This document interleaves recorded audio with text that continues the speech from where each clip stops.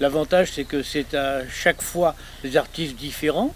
Et finalement, on a en général euh, trouvé un, bon contact euh, personnel avec les, gens, aussi différents soient-ils.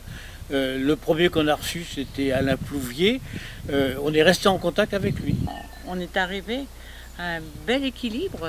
C'est surprenant parce que c'est des objets qui sont un peu complexes. Bon, il y a la curiosité, il y a le plaisir de l'individu qui nous explique ce qu'il représente. C'est vrai que on rentre un peu dans son milieu, dans leur milieu. C'est une façon comme une autre de mieux connaître euh, ben, cet art.